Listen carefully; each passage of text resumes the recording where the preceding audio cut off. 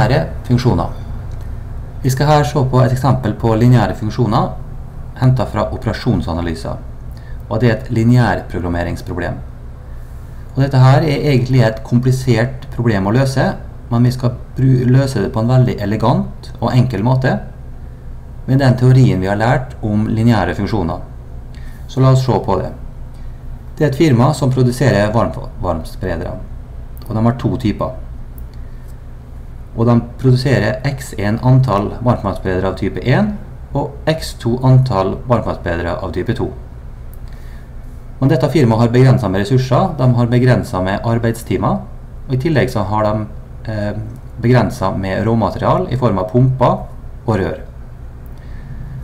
Og det, den begrensninga er matematisk formulert i disse ulikhetene, der de trenger ei pumpe for type 1 og ei pumpe også for type 2, som gjør at de totalt må være mindre enn 200. De bruker ni timer på å lage en markmannsbreder av type 1 og seks timer for å lage en markmannsbreder av type 2. Og totale antall timer må da begrense seg til 1566. Tilsvarende så er lengden rør, så trenger de 12 dm for å lage en type 1 og 16 for å lage en type 2. Og de må totalt begrense seg til dette antall desimeter rør. Og selvfølgelig, siden beslutningsvariablene er mengde produsert, så må de være positive. Da er oppgaven følgende. Gjør om ulikhetene til likheter og løs restriksjonene x2 som funksjon av x1. Deretter plott restriksjonene. Og oppgave C skraver det området i figuren som tilfredsstiller alle restriksjonene i ligning 219, altså disse her.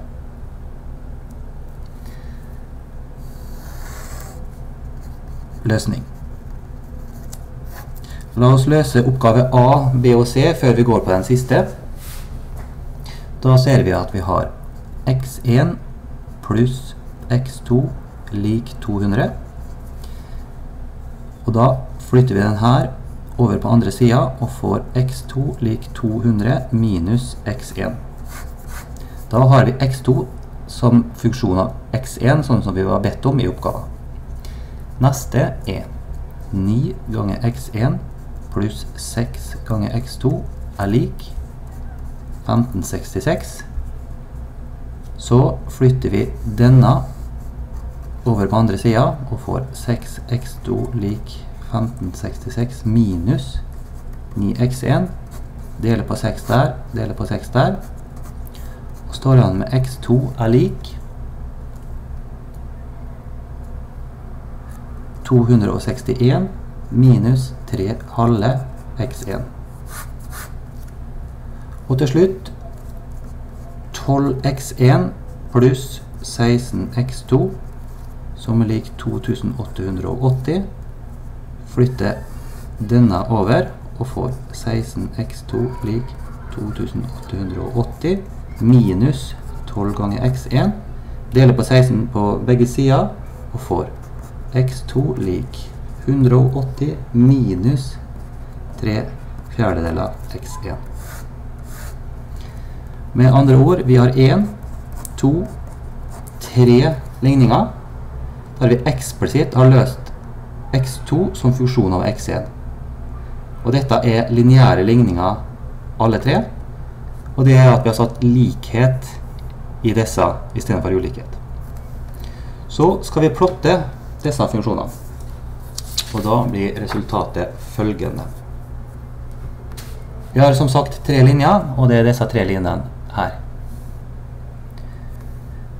Og når vi nå skal være innafor så ser vi det at vi må være mindre enn lik der og større enn på x. Det betyr at x-en må være x1 må være positiv. x2 må være positiv, så vi må være her. I tillegg så må vi være nedafor alle linjene til enhver tid.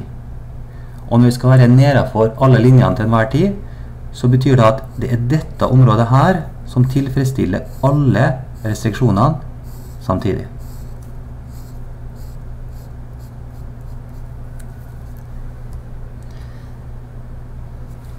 Så kan vi gå videre. Anta at dekningsbidraget DB til bedrifter er gitt ved dette uttrykket. Dette dekningsbidraget skal maksimeres under restriksjonene beskrevet i ligning 219. Ligning 219 er altså under disse restriksjonene. Dette er et lineærprogrammerings optimaliseringsproblem som kan løses grafisk, og det gjør vi på følgende måte. Indiker på grafen hvor alle hjørneløsninger er. Da starter vi med den trivielle løs eh, som er 0, 0, altså x1 er 0 og y1 er 0. Det betyr at vi ikke produserer noe i det hele tatt. Så har vi her en annen hjørneløsning, og det er når x2 er lik 0, og x1 er lik 0, og x2 er lik 180. Da er vi der. Neste hjørneløsning er der, der disse to linjene krysser. Og der er x1 lik 80, og x2 lik 120. Ikke så veldig enkelt å se dette her ut ifra grafen, men når vi tegner en god graf med på millimeterpapir, så, så ser vi dette her ganske greit. Der har vi den neste hjørneløsninga. Og der er x1 122 og x2 er 78. Dette er den siste hjørneløsninga, og der er x1 174 og x2 lik 0. Da er vi ferdig med romertall 1. Romertall 2. Les av alle hjørneløsningene og regn ut tilhørende dekningsbidrag. Da kan vi starte med dekningsbidrag 0, 0, altså vi starter med dette. Og det er da lik 350 ganger 0 pluss 300 blank ganger 0 er lik 0. Så det er klart at hvis du ikke produserer noe, så har du null dekningsbidrag. Dekningsbidrag 080 080 er lik. 300 ganger x1 350 ganger 0 pluss 300 ganger x2 som er 180 setter vi inn det og får 54 000 Dekningsbidrag for 80-120. Det er lik 350 ganger 80 pluss 300 ganger 120. Sett inn ned og får 64 000. Dekningsbidrag for 122 78. Det er lik 350 ganger 122 pluss 300 ganger 78 og setter jeg ned og får 66 100. Dekningsbidrag, det siste, som er 74 0, 174 0, det gir 350 ganger 174 pluss 300 ganger 0, som gir 60